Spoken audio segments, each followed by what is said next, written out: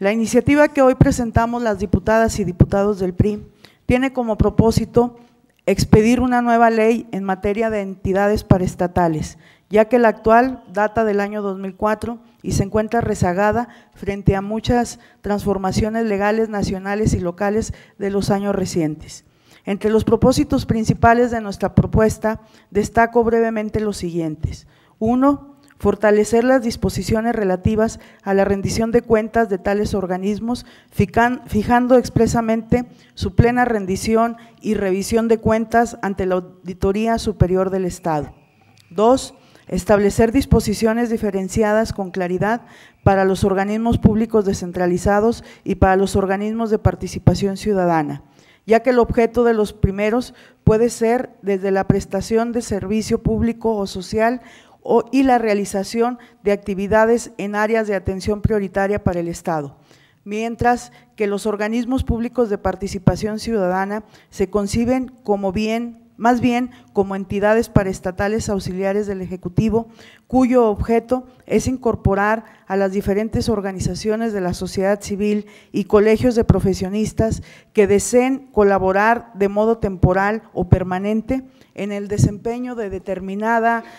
tarea o asunto de la administración pública estatal y las cuales podrían ser denominadas como comisiones, comités, juntas o patronatos. Tres, introducimos en la integración de los órganos, organismos de gobierno de tales entidades la equidad entre hombres y mujeres, asegurando la participación de la ciudadanía. Cuatro, se robustecen las disposiciones en el ámbito presupuestario, presupuestario que debe estar sujeto a alineamientos de nacionalidad,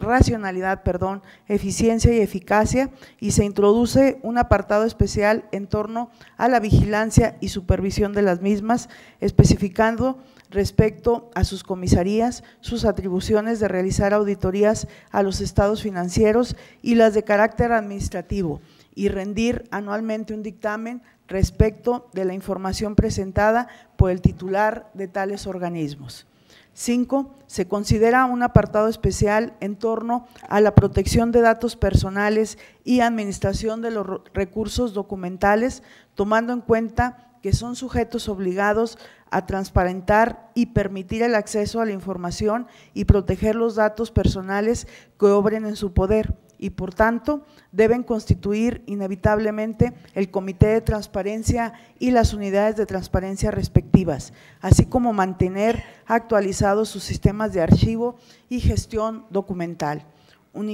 uniformando los procesos archivísticos y de identificación, organización, descripción, valoración, así como los procedimientos de clasificación de la información, al igual que asegurar la protección de los datos personales en su posesión. Por todo ello, y en la necesidad de contar con una renovada ley para entidades paraestatales acorde a los nuevos marcos constitucionales y legales de nuestro país y Estado, presentamos nuestra iniciativa que esperamos sea estudiada y, puesta, y pueda avanzar en este Congreso. Por su atención, compañeras y compañeros diputados, muchas gracias. Es cuanto, diputado presidente. Muchas gracias. Sexagésima octava legislatura, Congreso del Estado de Durango, acuerdos que unen.